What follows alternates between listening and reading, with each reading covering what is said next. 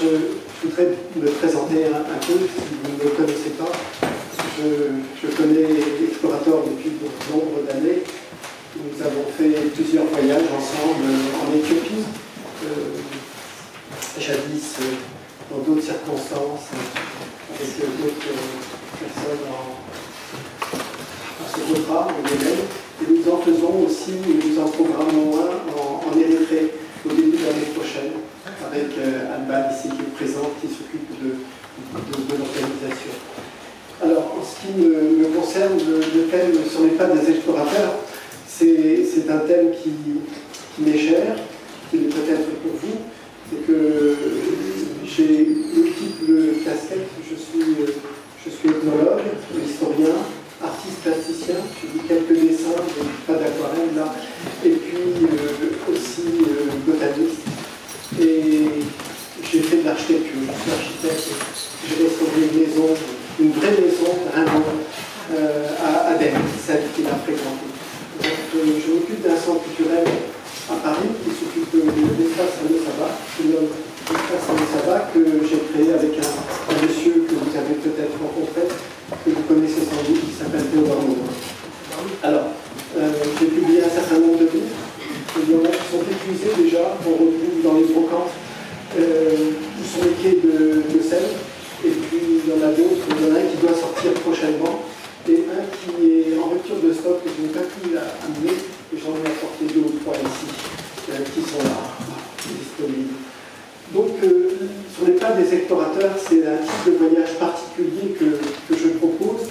ce n'est pas spécifiquement un voyage euh, c'est une sorte d'immersion dans, le pays, dans les régions que l'on va visiter, et une rencontre avec la population. Avec la population, avec la nature, avec l'environnement, c'est un sujet qui me, me préoccupe euh, depuis nombre d'années, et, en même temps euh, sur les pas des explorateurs, c'est-à-dire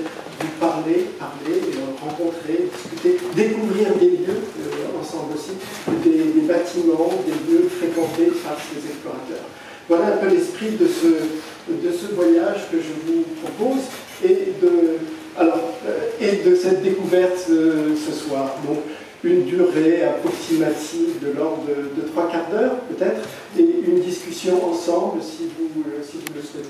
Alors, dans un premier temps, j'aime beaucoup les, les, cartes géographiques, entre autres, c'est-à-dire les cartes donnent véritablement un sens à la, à la géographie et, à la géopolitique, hein, parce qu'en Éthiopie, à Djibouti, c'est une région très particulière qui vit aujourd'hui euh, intensément des, euh, des évolutions diverses et une croissance absolument extraordinaire concernant l'Éthiopie et Djibouti également.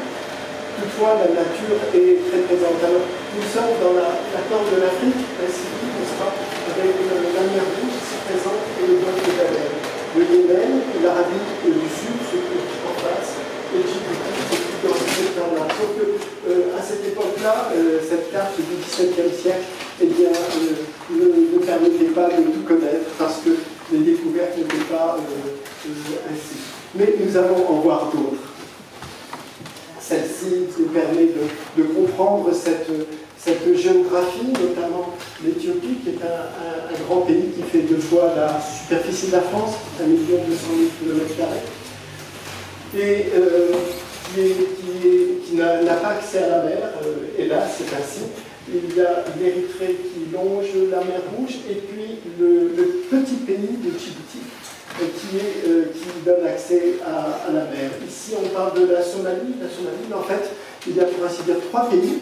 Il y a le Somaliland, un jour, avec Explorator, nous organiserons peut-être un voyage au Somaliland.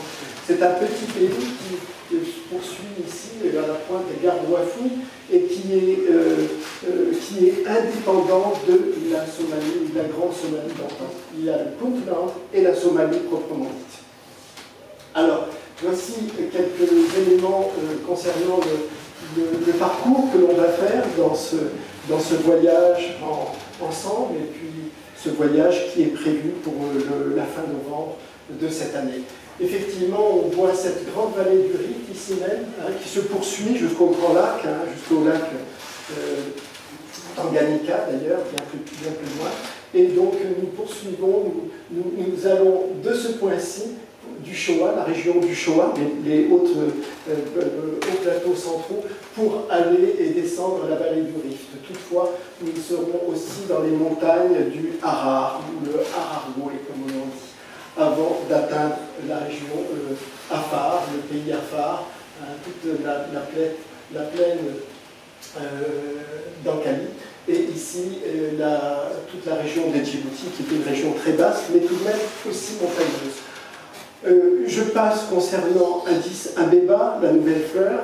Hein, ainsi, euh, quand on arrive à Addis Abeba, je, tiens à vous présenter quelques quartiers euh, tout à fait passionnants. Le quartier de Piazza, l'ancien quartier italien, puisque cette ville est une des, toutes dernières capitales modernes de l'Afrique, hein, qui a été construite à l'occasion de la création du train, de l'arrivée du train, Djibouti-Addis Abeba. Et alors, il y a bien sûr euh, une rencontre avec euh, Lucie au musée, euh, national. Il y, a, un musée aussi que j'aime beaucoup, qui est le musée de l'université, un ancien palais de l'empereur. Et il y a une certaine ambiance à Addis Abeba. Il y a quelques quartiers qui sont intéressants. Bien que ce soit aujourd'hui une grande ville qui s'étend de plus en plus, où l'on a depuis peu inauguré le métro. bref, nous quittons Addis Abeba, la, grande ville, pour descendre et cette, euh, cette plaine, cette vallée, pour aller vers le pays, euh, le pays de la, région d'Awash. Alors dans cette vue, c'est très intéressant, nous voyons des, euh, terrasses de culture, n'est-ce pas? Ces terrasses de culture étaient très intensément cultivées jadis, aujourd'hui beaucoup moins dans ce secteur-là. Parce que euh, le climat a changé, parce que les cultures elles-mêmes ont, changé, et ce que l'on ne sait pas véritablement, c'est qu'il y a une inspiration de type yéménite, jadis, il y a fort longtemps, plusieurs siècles. On s'arrêtera dans une région où il y a cette fameuse rivière, euh, une des plus importantes d'Éthiopie, qu'on appelle l'Awash. Alors l'Awash s'écrit de manière différente quand c'est francisé, on va le voir dans la vue suivante. Et cette, euh, cette rivière qui devient un fleuve qui ensuite poursuit euh, sa route vers les plaines du sud est, très, euh, très rafraîchissante. Elle permet aussi à des peuplades de, de s'installer, à des animaux bien sûr de, de, croître et de prospérer. Et dans ce secteur, il y, a, il y, a, une végétation tout à fait intéressante. Alors, je m'intéresse beaucoup à, l'architecture, je, vous l'ai dit. Et donc euh, là, j'étais allé voir une, tribu dans ce, dans ce secteur euh, pour euh, étudier la manière de construire une hutte. Ce sont les femmes qui construisent les huttes. Et elles procèdent avec grande délicatesse puisque chaque jonction est, est attachée. Vous voyez, donc ce sont des huttes d'ailleurs très très confortables. Elle était très étonnée, moi, homme, qui va la, voir pour discuter avec elle euh, en, arabe et, pour voir ce qu'elle faisait. Nous sommes devenus bons copains. Euh, dans cette région qu'on appelle les montagnes rouges, qui vont vers, euh, vers Ara vers Guinée-Dawa, il y a des, des peuplades qui ont des des, habits extrêmement euh, colorés. Et euh, c'est très saisissant.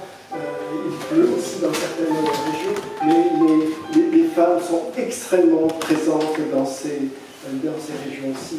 Elles sont également très belles. Alors, on arrive à, à Harar. Alors, Harar, c'est toute, toute une ville et toute une histoire. C'est une des villes euh, les plus importantes d'Afrique de, l'Est. C'est euh, la seule capitale, elle a été la seule capitale de l'Éthiopie, l'Abyssinie, si on pourra en parler tout à l'heure, euh, qui est une, ville construite en dur. elle a plus de 1000 ans et on a commémoré avec quelques amis scientifiques et, éthiopiens les, les 1000 années de cette, de cette cité. Alors, elle elle est dans une région très verdoyante, très agréable, le climat est, plaisant. Ce n'est pas le cas des plaines basses ou pays Afar. Alors c'est une ville qui est cernée par des, remparts qu'on appelle le Tchobol, Hein, à l'intérieur du Jogol, on parle beaucoup de là-bas, il y a des termes tout à fait spécifiques. Il y a même un langage à, euh, à Ara qui est le langage Harari. Et les femmes ont un type de langage qui leur permet de communiquer les unes entre elles et de ne pas être compris par d'autres. C'est pas mal. Alors, euh, les remparts font presque 3 km, elles entourent la, ville, et c'est vraiment très, très particulier. Tout est, pour ainsi dire, réfléchi. La récupération de l'eau, euh, la, circulation dans la, ville, euh, qui est un véritable labyrinthe, mais il y a certaines places. Ici, c'est une, une, place où il y a une église, juste derrière le clocher qui a été construite par, par II c'est-à-dire il y a un peu plus d'un siècle. À ce point-là, euh, c'est une manière de signifier que euh, la ville de Hara, qui a été très indépendante, qui a été musulmane, qui l'est toujours, mais pas que, était une ville qui était en opposition avec l'Empire abyssin. Et grâce à le Ras le père d'Alé Sélassié dont on va parler, et euh, la conquête de toute cette région avec Ménélique II, la ville a été unifiée euh, euh, au, pays. Là, j'ai trouvé cette vue qui, est présente, n'est-ce pas Les, les 404 sont toujours très présentes et aujourd'hui, évidemment, il y a ce genre de véhicule euh, qui se répand un petit peu partout dans, le monde.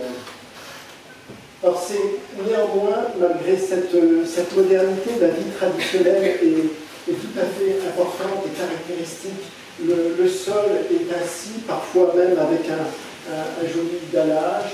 Euh, il y a une animation euh, très saisissante dans la journée, puisqu'il y a des tribus qui sont hors de Hara, qui est considérée comme une ville sainte. Euh, eh bien, une des quatre villes saintes de l'islam d'ailleurs, mais elle est véritablement considérée comme une des villes les plus importantes de l'Est africain. Et donc ces populations qui arrivent habitent dans les environs, un peu comme les, les qui arrivent le soir, qui vont nettoyer euh, tout, ce qui reste dans les, euh, dans, les ruelles de la ville. Et donc c'est une région aussi comme le Sidamo, euh, qui est une région très réputée pour le café. C'est un sujet aussi qui me, plaît beaucoup. J'ai eu l'occasion de, faire multiples recherches sur le café et de donner aussi quelques aides à la société Malongo, que vous connaissez forcément, euh, quand on écoute France Inter notamment, et, bien, euh, et puis de faire des expositions sur ce thème. En fait, le Coffea arabica ne devrait pas être nommé Coffea arabica, on devrait le nommer Coffea abyssinica. Quand, on café à la turque, euh, vous savez, préparé ainsi, on devrait dire café à l'éthiopien. Parce que, en fait, l'histoire se, confond entre le Yémen, puisque c'est le Yémen qui a introduit le café en Arabie, et avec les Turcs ottomans. Le, café s'est répandu en Méditerranée, à Damas, avant à Jeddah, au Caire, à Damas, et bien sûr à Constantinople. Istanbul, c'est un nom récent, vous savez, hein, c'est très très récent. Et donc le Cofea euh, abyssinica, le Cofea arabica, provient d'une belle histoire tout à fait charmante au XIIIe siècle. Et cette histoire, euh, j'ai fait quelques recherches afin d'essayer de voir ce qu'il en est euh, dans sa véracité. En fait, elle remonte au XIIe siècle et on parle d'un certain berger qui s'appelle Chadely ou Cadely et euh, qui, a, promené ses chèvres, bien entendu, et qui était dans un état d'excitation absolue après avoir dégusté des baies il a récupéré ses baies, il les a amenés, alors pour l'Éthiopie, il les a amenés au prieuré, et pour le Yémen, du côté de Thaïs, entre Mokra et Thaïs, euh, évidemment, il les, a amenés chez les Mahométans. Et là, euh, c'était en fin de journée, l'histoire charmante le dit, ils ont trouvé que ces baies n'avaient pas grand intérêt et ils les ont jetées dans le feu. Et ainsi, l'odeur était très particulière et très savoureuse. Voilà un petit peu l'histoire du, du arabica. Bref, on appelle cela des cerises, n'est-ce pas? Mais il n'y a pas que le, café dans le coin, surtout à Harar, dans tout ce secteur. C'est le cas de Djibouti, où l'on importe, et c'est le cas du Yémen, qui est un très grand producteur, mais on peut le rencontrer également à Madagascar, au Kenya et bien ailleurs. Là, il s'agit du kat, le kata et du lys. Alors, évidemment, j'ai eu l'occasion de faire des vitraux Yémen, etc., enfin, à peu près dans ce secteur. Et quand on, représente une image du café, les mauvaises langues disent Ah, cela peut être aussi des feuilles de cat. Et donc, euh, la population arabe dans tout ce secteur produit énormément de cat qui est répandu un petit peu et envoyé un petit peu partout dans le pays, au Somaliland et à Djibouti notamment. Et, donc, euh, ben, les, rameaux sont ensuite mis ainsi, à tel point que euh, les, chèvres, elles broutent des baies de café peut-être, mais elles broutent, comme on dit, euh, ben, du cat. Alors, on imagine leur état. Non loin de là, il y a Diridawa. Et Diridawa, je ne présente que d'images, j'aime bien laisser quelques surprises. Et Diridawa est une ville tout à fait récente qui a été construite par les Français il se trouve que le sultanat de Harar euh, ne souhaitait pas que le train arrive. C'est un peu comme, vous savez, Saint-Pierre-des-Corps avec Tours. enfin, il y, a, des endroits comme ça en France où il y a une sorte de, réticence à l'égard de la modernité. On comprend aujourd'hui, a un petit peu partout. Et alors, euh, la ville de Harar n'a pas voulu que le train arrive, que le chemin de fer arrive, construit par les Français avec le soutien d'un ingénieur suisse qui s'appelle Hick, Échefleux, un français aussi, et donc à du temps de Ménélique II. Donc il a fallu construire une ville, mais la ville a été construite pour le chemin de fer, pour les, ateliers de réparation, pour bien sûr les haltes et la voie ferrée. Et autour de cela, il y a une ville administrative, euh, industrielle et de techniciens. Aujourd'hui, euh, il y a cette, euh, cette alliance française que, que j'aime beaucoup, que j'aide régulièrement aussi en apportant des, dons, en reconstituant la bibliothèque. Et donc, vous voyez, qui a été fondée en 1908, c'est une des toutes premières au monde. Voilà, effectivement, là, ben, là c'est le buffet d'Awash. ou alors le buffet d'Awash à tel point qu'ils ont mis dans, cette, euh, dans cet hôtel, euh, restaurant, on mange bien, ils ont fait un t-shirt où c'est marqué bouffée d'Awash. C'est dans Awash qu'une fois, Charles de Gaulle a rencontré l'empereur Haïdé Sélassié, chacun ayant fait un bout de chemin en train de Djibouti à Awash et l'empereur de Addis Abeba à Awash pour se rencontrer. Ils ont même dormi. Alors, on arrive à, euh, à bien sûr, à l'intérieur de cette, de, cette ville où il y a des, des édifices qui sont peu à peu euh, restaurés et j'en suis absolument ravi. Ici, c'est une, maison qui fut un temps euh, occupée et mal occupée par une sorte de, de guérisseur qui faisait des, euh, des potions magiques. Et elle a été restaurée il y a peu. C'est la maison de, de Ras Makonnen. Ras, ça veut dire gouverneur, hein, ce n'est pas ça veut dire euh, homme supérieur en second degré, et le Ras Makonnen est, le père de l'empereur Haïdé Sélassié. Alors c'est quelqu'un euh, que, que, j'estime beaucoup, j'ai l'occasion de, faire des recherches sur cette période-là, et notamment concernant la, période avec les Italiens, les Français, les Anglais bien sûr, et euh, en géopolitique, ce point, ce point de vue ici dans cette région est extrêmement important. C'est un très fin stratège qui parlait le français comme, nous autres. Et euh, ce monsieur-là a vécu dans cette, maison et il a été un, personnage extrêmement important dans la, concernant la bataille d'Alois. Vous avez entendu parler de la bataille d'Alois en 1896, la première bataille en Afrique gagnée par les Africains contre les Occidentaux. C'est bien plus tard qu'à l'époque de Mussolini, euh, qui a tenté de prendre sa revanche d'une autre manière. Donc le Ras est le père de l'empereur Haïlé Sélassié, qui est né il y a, euh, euh, dans, la région, mais pas à Harar. Aujourd'hui, ce fameux édifice est un, est, un, musée, un musée de, de l'histoire d'Harar, et ô combien, vous le savez, l'histoire d'Harar est extrêmement importante avec des, manuscrits qui sont des, pures merveilles et qui sont présentés dans des vitrines, il y a des objets divers, s'il est possible de discuter. Effectivement. Mais le climat de Harar n'est pas toujours très, très, très heureux. Euh, il y a une saison des qui ne correspond pas au voyage à l'époque du voyage que l'on prévoit.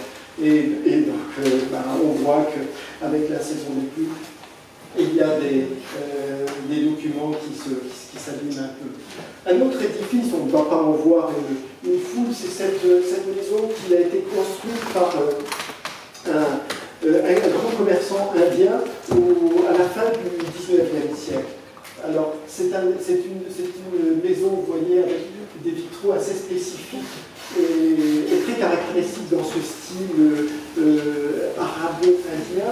Et ce qui est intéressant, c'est qu'elle elle était construite un peu comme un jeu de mécano, c'est-à-dire qui, euh, euh, qui souhaitait lui, apporter une, réponse, quoique fausse, absolument fausse, lui a dit ben, c'est celle-ci. Et en fait, celle-là, quand je l'ai visitée il y a 40, 42 ans, elle était en très très mauvais état il y avait également une famille qui squattait, qui faisait du feu à l'intérieur. Elle était vraiment en très très piteux état. Mais dans les années 90, il y a eu un engouement pour euh, la, renaissance de la poésie, des maisons, éloignées, etc. À l'époque de, François Mitterrand et de Jacques Lang notamment. Et donc cette maison a été, euh, restaurée avec un soutien financier assez considérable, Christian Dior, euh, Total. Alors aujourd'hui, jusqu'à ces derniers jours, elle était en parrainage avec la ville de Charleville. Et il y a deux jours, par euh, un de mes amis qui habite euh, là-bas, qui s'appelle Alain Sancerny, il m'a annoncé que la ville de Charleville avait euh, stoppé le, contrat de partenariat avec, avec Donc on essaie de voir quelque chose justement pour en faire une maison des explorateurs et des voyageurs. Avis. Alors ça c'est juste un petit clin d'œil, c'est la maison que j'ai restaurée, je ne suis pas membre restaurateur, c'est la maison que j'ai restaurée à Aden, qui est une maison fréquentée par Arthur Rimbaud et par, euh, bon nombre de commerçants. Ces maisons s'appelaient jadis les factoreries. On a une très très belle vue du, du vous voyez, euh, la tôle ondulée n'est pas toute récente. Vous savez, les boîtes de conserve et les tôles ondulées datent des années 1850. Euh, Bon, celles-ci sont, euh, sont teintées de couleur brique, c'est pas mal du tout. Et, donc là, on voit donc à l'intérieur de la ville cet entre-là, comme ça, c'est véritablement un ensemble euh, euh, de secrets et secrets protégés. Alors bien sûr, dans ce, dans ce voyage, et, là, il me, il me, plaît de vous, de vous parler de, de, des personnes célèbres qui sont allées dans ce, vécu dans ce secteur. Alors il ne s'agit pas d'Arthur Rimbaud avec sa, sa, belle euh, figure d'ange à l'âge de 17 ans. On n'est pas heureux quand on a 17 ans, on n'est pas sérieux. Mais euh, ça c'est bien plus tard, il est allé par là-bas en 1880 jusqu'en 1891. Et ici, c'est une photo que vous connaissez peut-être, j'en ai mis un fragment que j'ai expertisé en juillet 2008 ça fait déjà 8 euh, ans. Et, effectivement, il y a un certain nombre de personnages que nous avons retrouvés, euh, nommés. Euh, le grand-père d'une amie à Saint-Malo est, au centre de cette image. J'en suis presque sûr, avec quelques études faites et avec d'autres personnes. Il s'agit d'Arthur Rimbaud. Bah, on change, n'est-ce pas? Ici, si cela vous intéresse, vous pouvez encore podcaster, comme on dit en beau français, 11 euh, émissions que nous avons euh, enregistrées l'an dernier sur France Culture et que vous pouvez encore vous chercher, vous tapez France Culture sur Internet, etc. et vous les récupérez. Et parfois, euh, il y a eu ce film qui a été présenté sur France 3 l'an passé et nous avons l'intention de le présenter à la fin de l'année, justement, à, l'espace Radio Savoir. C'est un film qui a été fait par Jean-Michel Jean avec plusieurs spécialistes radiophoniques. Alors, d'autres personnes importantes, je vous ai parlé de, euh, donc le père d'Aïlé Sélassié. Le c'est jusqu'à la fin du, 19e euh, siècle, il est décédé au tout début du 20e. Euh, l'empereur Haïlé Sélassié était tout petit, tout gamin, et il a été éduqué par un, père, un père français qui s'appelle Monseigneur Jarousseau, qui est originaire de, de Toulouse. Vous savez qu'il y a une confrérie capucine encore à Toulouse, extrêmement importante. Et euh, Jean Rousseau, qui est assez impressionnant, n'est-ce pas, euh, à sa plaque euh, à, à ainsi, et il a créé donc une confrérie de religieux capucins, donc catholiques. En Éthiopie, la majorité de la, de la population est à, peu près à 45-50% et orthodoxe, donc, et à peu près près, il y a 30 à 40% de musulmans, et les catholiques, aux chrétiens catholiques, il y en a assez peu. à tel point que les, les chrétiens catholiques étaient cantonnés, le sont encore aujourd'hui dans certains secteurs, afin de ne pas faire de prosélytisme auprès des orthodoxes. C'est une autre histoire, nous pourrons en parler. Alors, euh, un autre personnage important, ne pas confondre avec Richard Burton, n'est-ce pas? Euh, Qui n'a pas le même regard, qui n'a pas la même couleur Euh, effectivement, Richard Burton qui est un personnage absolument euh, fascinant et saisissant, euh, qui connaissait 29 langues, qui a traduit le Coran, qui s'intéressait à de choses. Certains disent, et je n'aime pas ces propos, on se déguise en, on dit, si vous lisez, il s'est déguisé en, musulman pour arriver à Ra. Non, il s'est habillé, et puis il s'est accoutré, et puis il connaissait ce qu'il fallait faire pour ne pas, en tout cas pour y arriver. Donc il est arrivé en 1854 dans ce euh, dans, dans, ce secteur et à Ara. Il avait rencontré, vous savez, Speck aussi, un autre explorateur. C'est à l'époque de, des explorateurs anglais et écossais, bien sûr. Alors l'intérieur des maisons à Ara est très spécifique, très particulier, c'est absolument unique au monde. Il y a des salles euh, qui sont destinées à la réception, des salles qui sont destinées aux femmes. Il y a une couleur dominante aussi qui est essentiellement le rouge ici même, il y a des plateaux qui sont, qui sont d'origine chinoise ou indienne et qui sont anciens et qui ont une valeur inestimable à tel point que euh, nous ne pouvons pas les, acquérir. De toute façon, c'est une maison privée ici. Et ici, notamment, ce, le rouge qui est dominant symbolise le, rouge d'une bataille euh, perdue par euh, un Arabi très célèbre qui s'appelle le Graal, le gaucher. Et euh, le Graal, au XVIe siècle, a monté une armada phénoménale pour aller à l'intérieur de l'Éthiopie, de l'Abyssinie, et pour conquérir les terres intérieures, jusqu'à Aksou, jusqu'au nord de l'Éthiopie. Et il les a perdus en raison de la présence et l'arrivée des Portugais. Ils n'étaient pas nombreux Portugais, ils étaient quelques 400 avec le fils de Vasco de Gama qui s'appelle Christophe. Donc le Graal a perdu cette bataille et euh, ils ont, pour ainsi dire, perdu leur pouvoir et cette ville d'Ara est devenue beaucoup moins importante.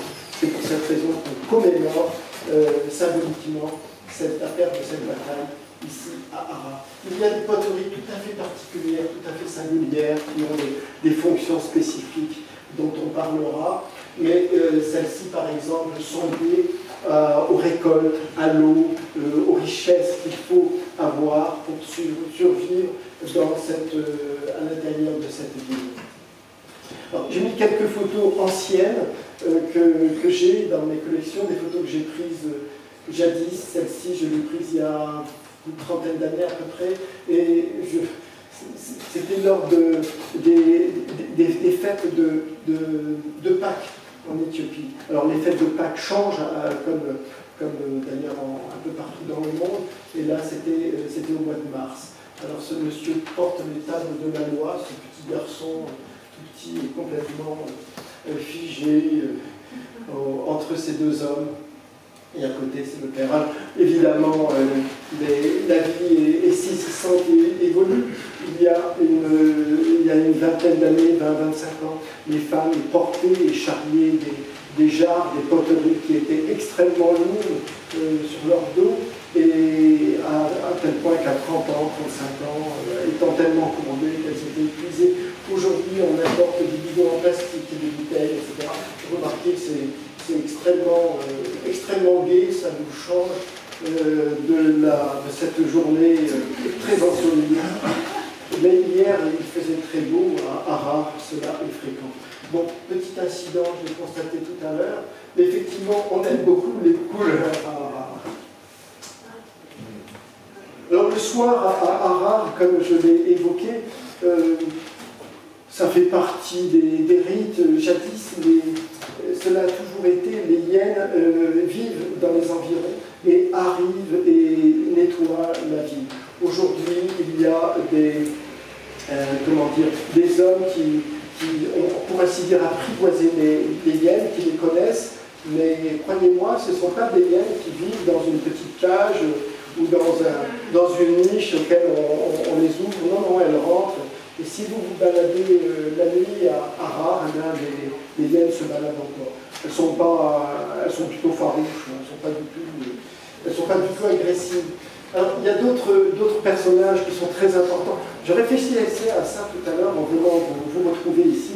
Je me disais, je suis vraiment très désolé, tout à fait désolé, je n'ai pas dans, mes histoires euh, ici, je n'ai pas de, de, femmes exploratrices à, présenter. Il n'y a pas d'Isabelle Eberhard notamment, mais il y a euh, Henri de Montfred, ici même, au centre de l'image. Cette ville peu connue, euh, ça c'est un, des bateaux qu'il a construit, c'est Altamir, et Henri de Montfred Évidemment, c'est un personnage très, singulier. Je l'ai rencontré à la fin de sa vie, c'est-à-dire au moment où je suis arrivé en, France, en, 60, je suis arrivé en 73, et je l'ai rencontré euh, juste après euh, avec sa, sa fille euh, Gisèle. Il, avait un visage absolument incroyable, il ressemblait à une, momie, il avait des yeux extrêmement limpides, bleu, gris, et il était à la fin de sa vie. Voilà. Bref, Henri de Montfred, euh, je ne vais pas faire une conférence sur lui ce soir, ça duré bien longtemps,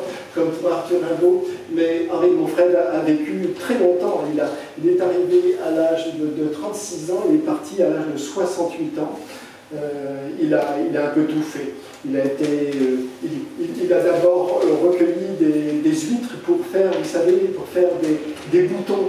Jadis, nous en avions, n'est-ce pas, des boutons en art. Et puis il s'est fait avoir. Après, il a eu quelques, soucis avec les autorités françaises à Djibouti. Et il a commencé euh, vulgairement à trafiquer. Et là, euh, ce trafic a été sous toutes les formes. Euh, ça a été le hashish, bien sûr, la croisière du hashish, de l'opium, et il a fait du trafic d'esclaves. Depuis des années, je prépare, mais elle n'a pas été présentée, et je prépare cela avec un, monsieur qui vit aux États-Unis, sur un regard croisé entre quatre euh, personnages très singuliers euh, qui me sont chers. C'est Henri de Montfred, c'est Arthur Rimbaud, vous l'avez compris, et c'est André Malraux et Joseph Kessel. Et donc, euh, Joseph Kessel a tout fait, il est venu ici en 1929, il a tout fait pour que Henri de Montfred, qu'il a reconnu en tant que bon écrivain, pour qu'il rentre à l'Académie française. Mais il n'a pas été reconnu et accepté. Donc Joseph Kessel est venu, ici présent, est venu, après l'avoir rencontré dans un café euh, parisien, pas très loin d'ici d'ailleurs, et ils se sont rencontrés parce que euh, Kessel, qui était un écrivain reconnu et euh, un grand voyageur, vous le savez, a voulu faire une série d'articles sur le trafic d'esclaves. Et donc il a rencontré à Paris, ils se sont vus, ils se sont vus là-bas, Suite à cela, a, euh, Kessel a écrit ce livre, peu connu d'ailleurs, qui s'appelle Marché d'esclaves, mais il a écrit un autre ouvrage qui est très très connu, qui s'appelle Fortune carrée, n'est-ce pas? Et donc c'est un sujet, un sujet extrêmement intéressant aussi. Voici la maison que j'ai retrouvée il y, a, il, y a, bon nombre d'années déjà, occupée par Henri de Montfred. Alors là, c'était une véritable enquête. je, passe tous les lieux à Direda ou un petit peu partout comme ça, mais celle-ci euh, m'était chère. Elle l'était d'autant plus que j'ai fait une, croisière et plusieurs conférences avec Guillaume, Guillaume de mon frère, son petit-fils, qui est le, détenteur de, ce patrimoine délicat. Hein. C'est pas évident hein, d'avoir un grand-père qui a été un écrivain célèbre et qui a été un, un vrai salopard. Euh, qui a tué pas mal de monde, etc. Et donc, euh, néanmoins, qui a été un marin absolument extraordinaire et il aimait énormément ses peuples.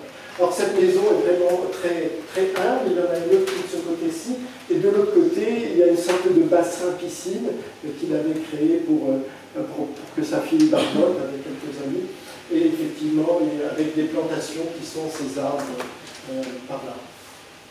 Euh, en 1941, il a été arrêté par les, par les Français, un pétiniste, euh, pour, euh, pour ensuite être expédié par la Somalie, par Zeina, et ensuite vivre au Kenya. Alors il a écrit un livre qui s'appelle Du Hara au Kenya.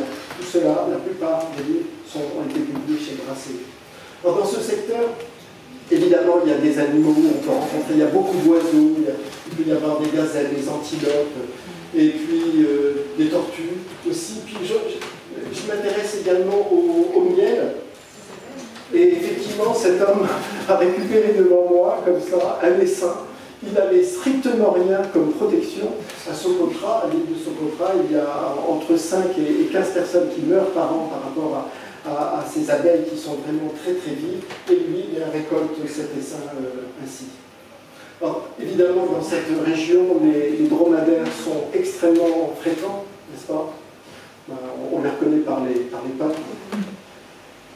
Effectivement, ce sont des, animaux extrêmement attachants, euh, ce sont des espèces très spécifiques dans cette région.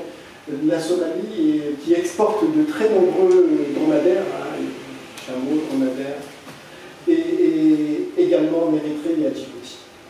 Alors, ce sont des régions aussi euh, très caravanières, et c'est là que peu à peu on quitte, on quitte euh, la région de, l'Éthiopie.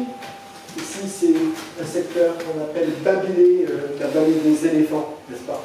C'est une région que, j'aime beaucoup parce qu'elle est extrêmement intéressante. Il y a une, orographie très très spécifique où on voit des plantes, euh, des, animaux, euh, des bestioles, des insectes, etc.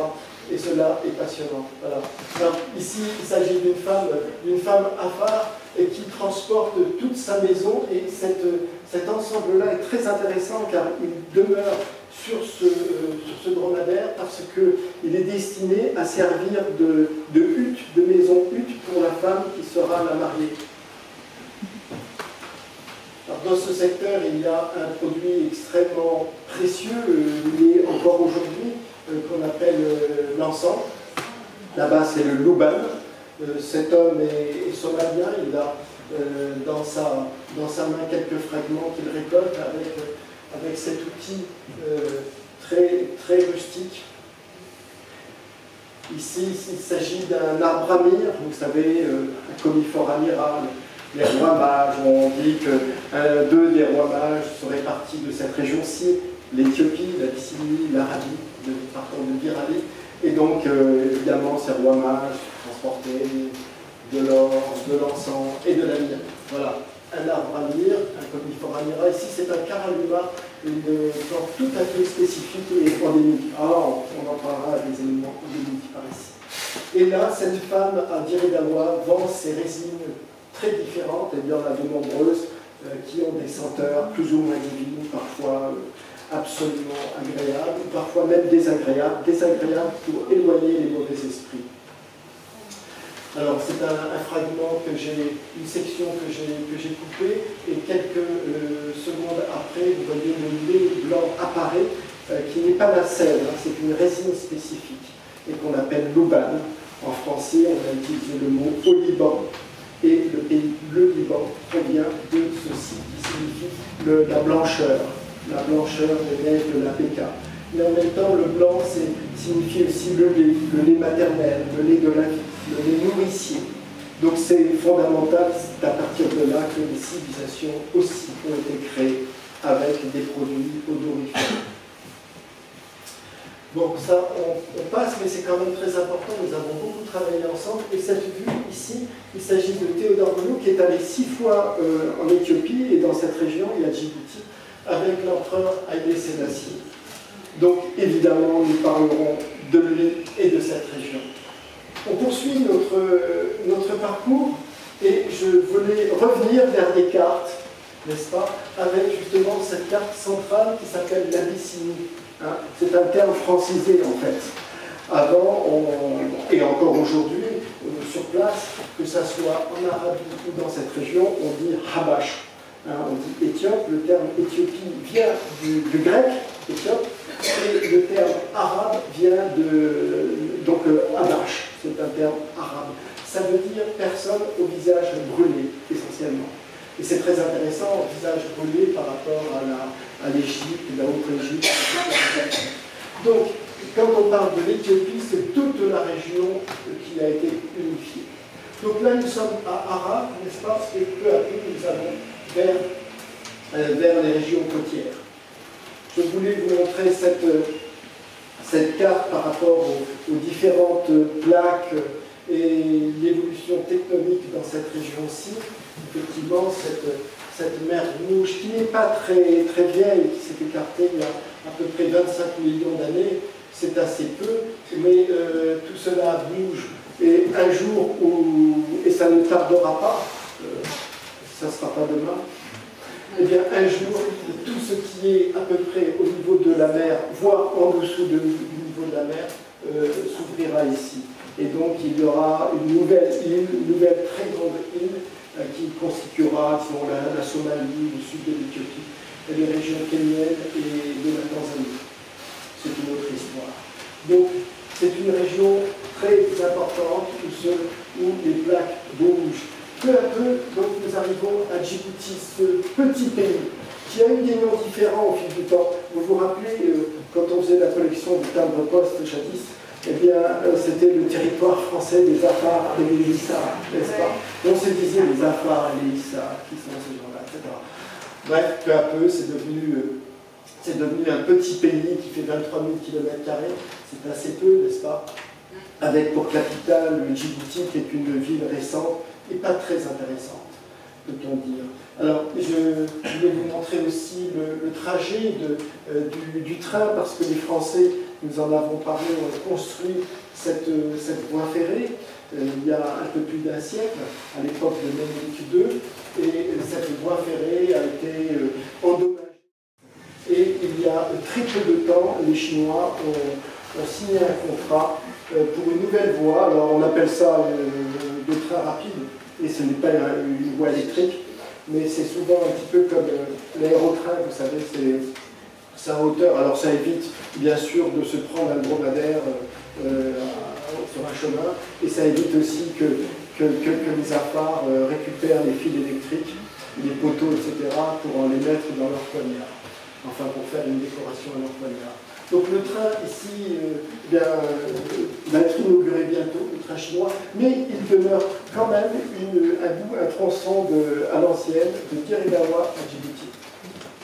Alors dans, ce secteur, évidemment, c'est la région des, routes caravanières, mais il ne faut pas oublier que toute la région du Harar et le sud de l'Éthiopie ont intrinsèquement été liés avec l'Arabie et les côtes de la mer. C'est pour cette raison que j'en parle, non seulement par rapport au café, à l'encens, aux produits, aux plumes d'autruche, à la malachite, mais aussi au trafic d'esclaves.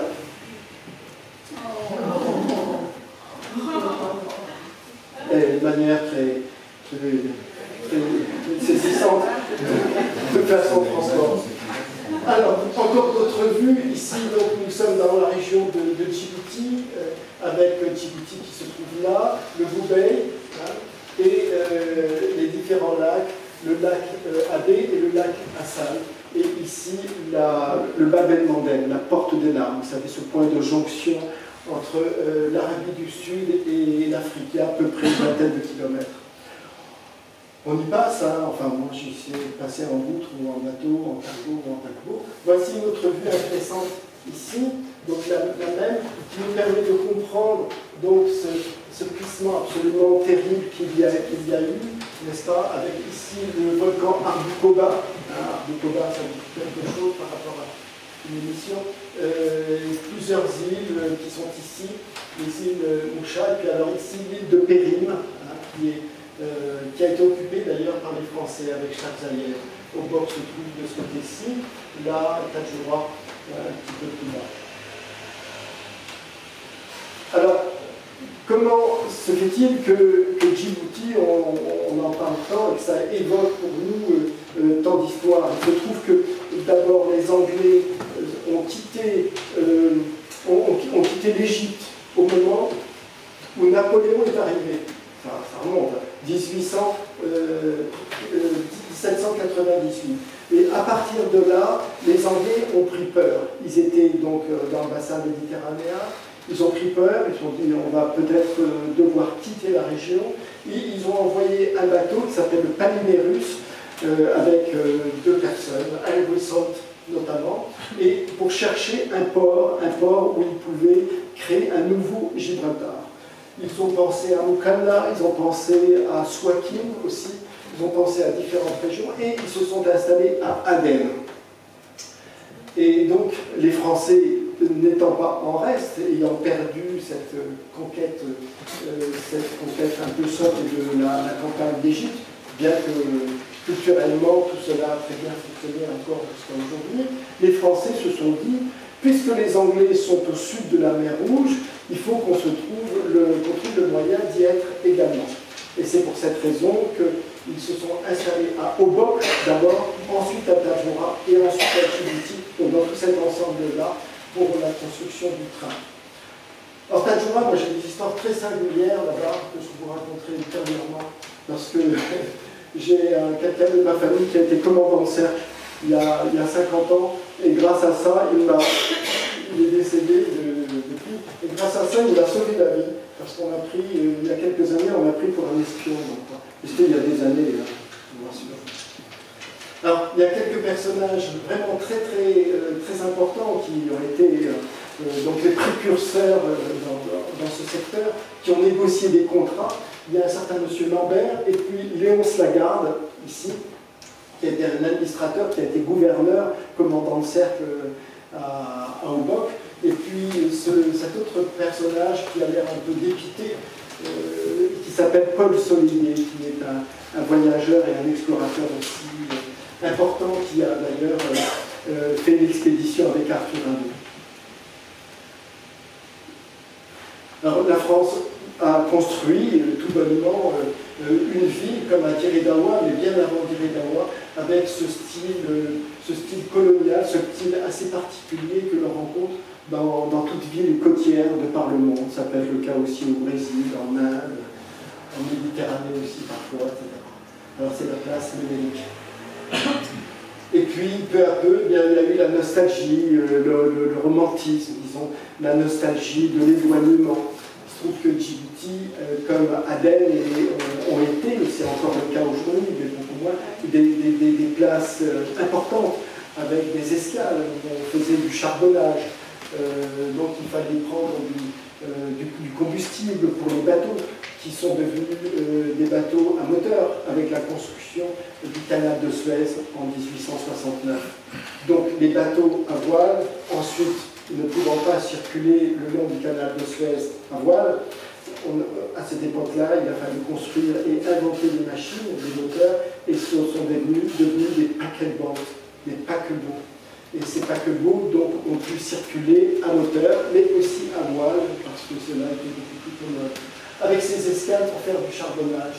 Alors bon, évidemment, le Café de Paris, euh, le bar du palmier en zinc, vous avez entendu parler de cette histoire du palmier en zinc, c'était une belle histoire. Le palais du gouverneur, qui existe toujours. Hein. Euh, la France a, occupé, disons, pendant un peu plus d'un siècle euh, Djibouti, Ici, c'est une photo que, que j'ai prise il y a à peu près 25 ans à peu près avec l'armée française qui est ici, à Tadjoura, là où Arthur Rimbaud a enterré pendant presque un an euh, des vieux fusils réformés qu'il avait dessinés à Vénélique. Il a fait une fois du trafic d'armes, il a monté une caravane d'armes, à partir de là, c'est devenu un marchand épouvantable. Voici quelques, quelques visages que j'ai bien aimés, je ne sais pas si s'ils existent encore, ce monsieur-ci. Voilà. Abdou, mon bon copain, un marin, un très très bon marin. Euh, on a traversé euh, du Yémen à Djibouti. Il a connu, il était gamin, il a connu Henri Monfred. Ouais, un bon marin. Alors les allures des affaires sont vraiment très spécifiques, ils ont une manière d'être, ils sont extrêmement élégants. Euh, ils, sont, ils ont des, des, visages impressionnants, ils sont très beaux, les hommes comme les femmes. Mais il ne faut pas trop les regarder, ni les unes ni les autres. Et puis, bien sûr, toutes ces régions euh, du, du, lac Assal qui sont absolument magnifiques. Et donc là, on, on atteint des, des altitudes inférieures. Donc on est autour de moins 150, moins 200, moins 250 euh, mètres en dessous du niveau de la mer. Alors il y a une résurgence fréquente du, du, sel, tout cela est très commode. Voici une carte. qui vous permet de, mieux comprendre cet ensemble. Alors là, il y a des, requins, des, toutes sortes d'animaux marins et d'oiseaux qui circulent, mais on voit cette roche absolument incroyable qui est là, qui est complètement volcanique et qui, euh, euh, qui est dans ce secteur. C'est là où un certain Nicolas Hulot, il y a quelques temps, il y a quelques années, dans une de ses émissions sympathiques, euh, dans ce secteur-ci, il était là comme ça et il disait euh, ici c'est l'Afrique, là c'est l'Asie. Et euh, effectivement, chaque année, il y a à peu près 2 cm d'écartement entre l'Afrique et l'Asie. Il ne se trompait pas.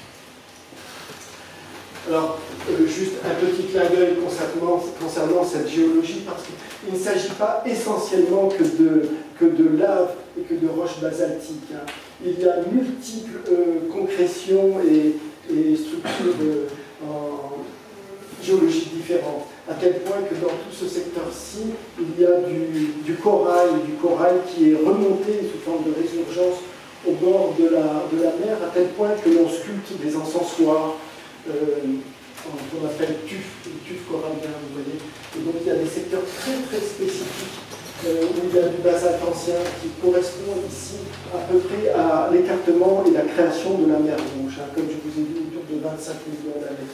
Et puis sinon, il y a des, créations beaucoup plus récentes qui correspondent aussi à la création de volcans de part et d'autre qui sont de l'ordre de 1 million d'années. C'est très peu. Ça sont des photographies, euh, des photographies anciennes. Avant, on allait dans ce secteur évidemment avec des méchantes pistes Aujourd'hui, eh bien, on, prend des, routes, euh, une route asphaltée qui est récente qu'on appelle la route de l'unité. Alors à partir de là, tout peut bien aller. Euh, il, il, subsiste quelques vestiges dans tout ce secteur où il y a ces, ces représentations rupestres qui correspondent à peu près à, 20 000 ans. On en rencontre pas mal dans le secteur. Celle-ci, malheureusement, a été délogée pour la construction de la route. Oui, oui. Alors, bon, évidemment, le, le, le, sel, des colorations tout à fait spécifiques, à tel point que, comme par exemple, vous posez, dans la photo est, un peu je suis désolé, à tel point que vous, si vous déposez un stylo, une clé, euh, pas les vôtres, en tout cas, euh, n'importe quoi, une bouteille, quelque chose comme ça, vous repassez le lendemain, euh, eh bien, les, concrétions sont, déjà là et envahissent l'objet. C'est extrêmement beau, c'est aride, c'est très, fort. On est à, l'origine, non pas de l'humanité, à l'origine de, de, la Terre. C'est extrêmement saisissant. Dans ce secteur aussi, il y a des oiseaux euh, divers, euh, des par exemple, la piscine, etc. Et puis bien sûr, comme vous le savez, vous l'avez peut-être vu, il y a ces plaques de, sel qui sont, qui sont récoltées. Et elles sont récoltées en permanence. C'est vraiment, ça correspond à une nomenclature, hein. c'est des plaques très spécifiques, avec, euh, elles, sont euh, complètement euh, ordonnancées sur le dromadaire, hein, qui ne peut pas en avoir plus parce qu'évidemment le poids est considérable. Donc il y a encore des caravanes à Djibouti, en Érythrée, en Éthiopie, et on en voit qui rentrent, qui arrivent à l'intérieur des terres comme ça jusqu'à Mekele. Aujourd'hui, euh, bien évidemment, il y a les, caterpillars, il y a ces, engins, euh, mais ça fait déjà pas mal de temps, hein, les Français les Italiens euh, ont, créé une société pour extraire le sel comme ça, et c'est franchement agaçant pour ces peuples qui se nourrissent et qui, dans ce travail qui est absolument harassant, hein, très fatigant, ils pataugent euh, dans, le sel, ils se brûlent les, pattes et les, mains, ils font ça euh, régulièrement, c'est quand même très difficile. Mais ils continuent. Alors le sel est ensuite vendu, bien sûr, dans les marchés. Euh, on peut en récupérer. Moi-même, chez moi, j'utilise du sel de... Si, si, j'utilise du sel de cette région. Ouais, ça fait, ça fait bien. Hein. Je, je, suis tout seul. Le, sel de cette région, le sel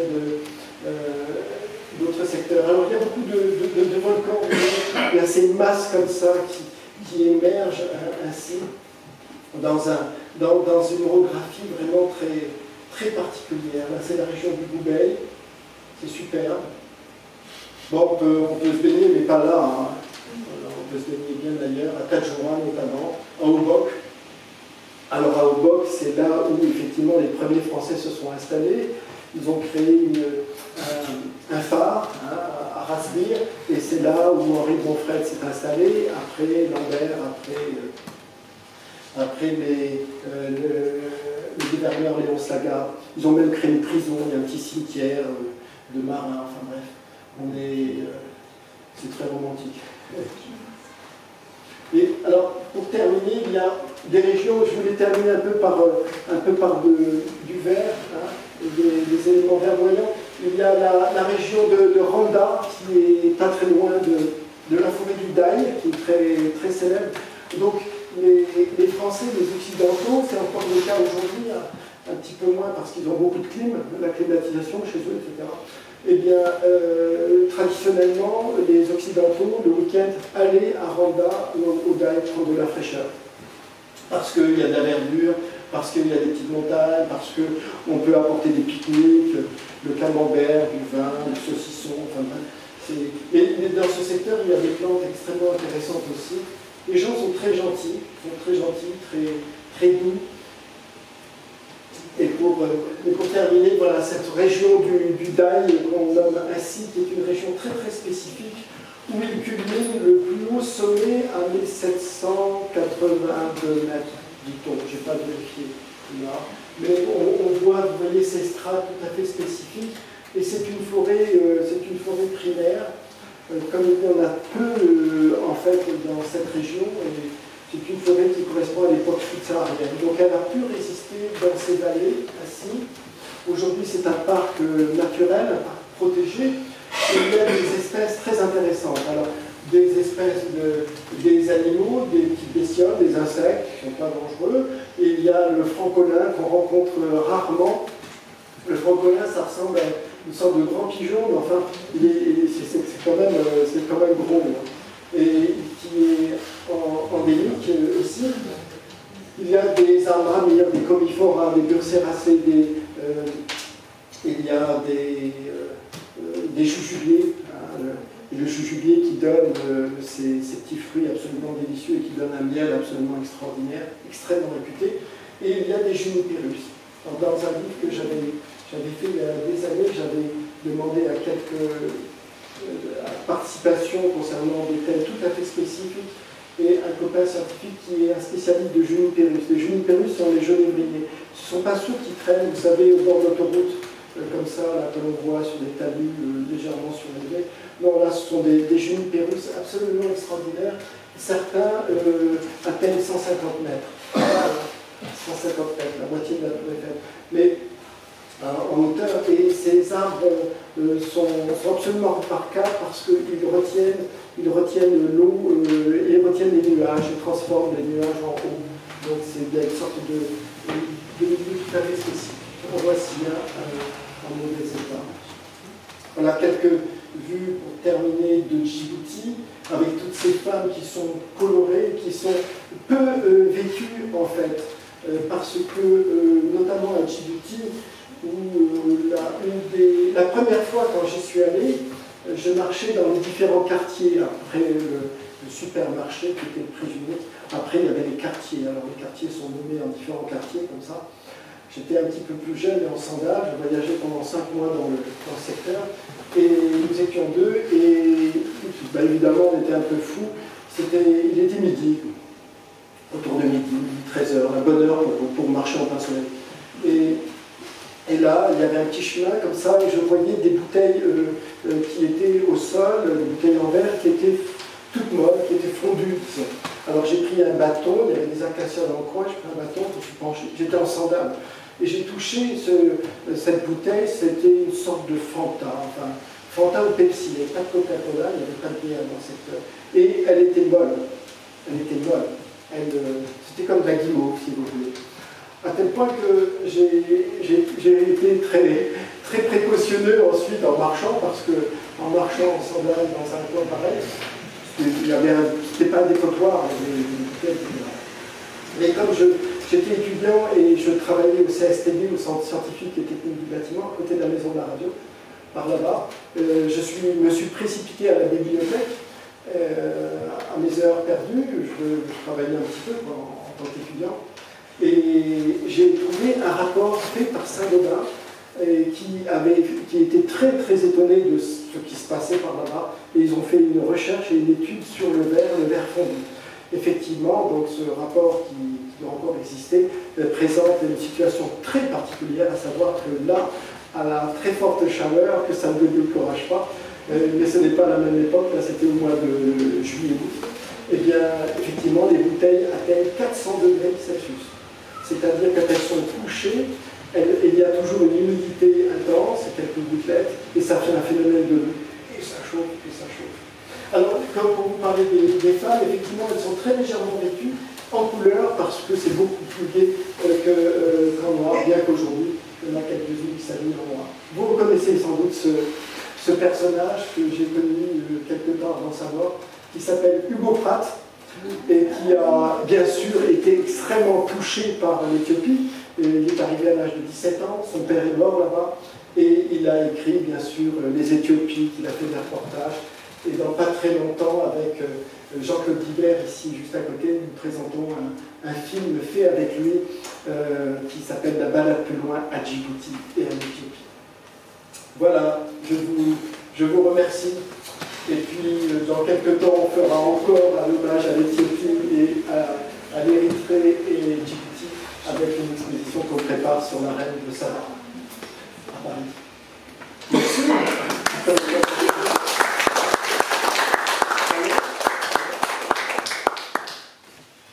une heure. Bon, si vous avez quelques questions, je peux tenter de vous répondre. Je sais que là, il y a un programme qui a été fait par, par Alban, n'est-ce pas Il y a tant à dire dans cette région.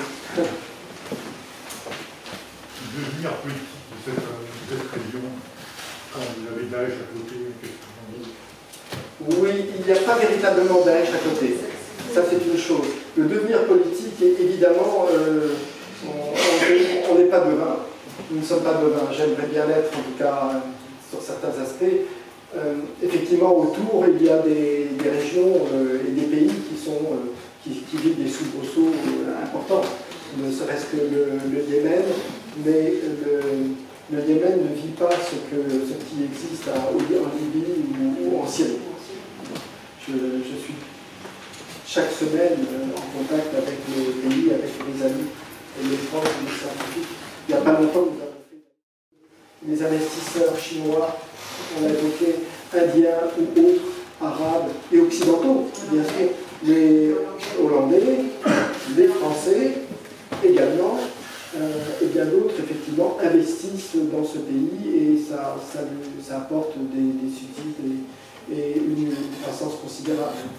Euh, concernant Djibouti, c'est le cas aussi. C'est un, petit pays qui est, qui est globalement contrôlé, hein, parce que c'est pas bien grand. Et puis en plus, depuis le départ des Français en 1977, les, autorités ont, misé sur, euh, sur, l'ouverture euh, d'investisseurs. Alors les investisseurs, ce sont évidemment les, Chinois au port, hein, qui est devenu un, je parle de Djibouti. Non, là je parle de Djibouti, un port franc. Et en même temps, euh, afin de contrecarrer la présence française qui était trop importante à Djibouti, des contrats ont été faits avec des, euh, armées de certains pays, euh, notamment l'Allemagne, les États-Unis. Voilà, ils ont mis plusieurs œufs dans le même panier. C'est beaucoup plus commun. Mais gros, les frontières sont aujourd'hui fermées avec l'Érythrée on imagine, et je le souhaite, euh, qu'elles ouvrent, euh, qu'elles réouvrent à un moment. Avant, elles étaient ouvertes entre l'Érythrée et Djibouti. Il y a quelques années, cela a été, euh, a été fermé. concernant l'Éthiopie et l'Érythrée, les frontières sont, fermées. Mais moi-même, j'y vais régulièrement de part et d'autre. Je ne vous ai pas apporté mon, passeport, mais mon passeport est encodé Érythrée, Yémen, Djibouti, Éthiopie et tout va bien, donc je, le dépose dans les ambassades, très bien, très bien. Mais c'est d'organiser des voyages, d'accompagner des voyages, c'est pour moi également un engagement culturel. Et cet engagement avec le football, avec le sport, c'est aussi quelque chose qui permet d'être d'être présent dans un pays et de discuter avec, les autorités, de contribuer autant que possible à des ouvertures. Et concernant ces deux pays, ça va. Je parlais du Somaliland. Quoi qu'on imagine, on peut aller au Somaliland. Il y a eu ces dernières années des tentatives d'incursion et de déstabilisation au Somaliland, euh, qui est un petit pays avec pour capitale Argesha, mais euh, tant qu'il y a du piratage dans le secteur, les choses, dans le secteur marin au bord de la mer, les choses ne s'arrangeront pas. Mais ça a tendance à s'arranger. Parce que s'il y a eu du piratage contre les bateaux, les cargos, les polluants, et notamment, euh, eh bien, il y a un appauvrissement de population et cet appauvrissement fait qu'ils essaient de trouver d'autres. Alors, vous parlez de, Daesh, il y a, euh, notamment au Yémen par exemple, il y a eu euh, des, prises de position de groupuscules qui ont déstabilisé et qui contribuent à déstabiliser la région et à créer des guerres avec le soutien de puissances autres. c'est extrêmement complexe, c'est un vaste sujet. Moi, je dirais pour Daesh, ne peut pas être à Djibouti parce qu'en fait l'islam qui est à Djibouti, c'est pas du tout un islam c'est un islam très, très, très ouvert, très tolérant. Très très tolérant. Non, c'est très En Éthiopie aussi. Oui, mais le Soudan, c'est vrai, c'est pas du tout. Mais c'était pourtant un islamisme ultra cool, c'était soufiste. Oui, mais à Djibouti aussi, il y a beaucoup de. Il est quand même très ouvert, plus ouvert que le Soudan sur l'extérieur. Et puis il y, a, quand même une grosse communauté française, enfin il y a, il y a beaucoup, de communautés. Et des Indiens ils sont. Ils gangrènent quand même pas mal. Oui, non mais Djibouti pour l'instant, c'est pas touché. Donc là, vous dites qu'il euh, y a des relations internationales à Djibouti. Alors, nous, on, on est allé l'année dernière en Éthiopie et euh, on, a, on a compris que l'Éthiopie était assez imperméable aux influences étrangères, d'une part cause de sa géographie particulière, pas du tout. Et d'autre part parce qu'il euh, vise l'autarcie, euh, de commerce international. En Éthiopie Non, c'est l'Érythrée, monsieur. C'est l'Érythrée. L'Érythrée. L'Éthiopie, pas du tout. pas du tout. Absolument pas. Au contraire, l'Érythrée euh, s'expose à, à, une spirale. Euh, euh, infernal pour le. Mais pour l'Éthiopie, mais pas l'Érythrée. Non, non, mais ce n'est pas l'Éthiopie. Absolument pas. Au contraire, l'Éthiopie est extrêmement euh, ouverte et, et aux, aux, échanges culturels aussi. Il y a un, un dynamisme phénoménal. Routes Éthiopie. Ah oui, de plus en plus. Pardon ah non, il y en a plus en plus. Mais avant, euh, faire un voyage en Éthiopie, jadis, Oh là là, on avait la, les cheveux rouges euh, en fin de journée, en permanence. Non, non, il y a... Elles sont bonnes, elles sont complètes, bonnes. Ça dépend où. Oui. Effectivement, dans certains secteurs, il, y a, il avoir des, des, des, camions, mais aujourd'hui, avec la construction du train, justement, c'est fait pour euh, désengorger les, les, routes et ça va poser problème d'ailleurs aux, sociétés de, transport parce que le transport euh, par train est beaucoup plus rapide, beaucoup plus sûr et peut être euh, permanent.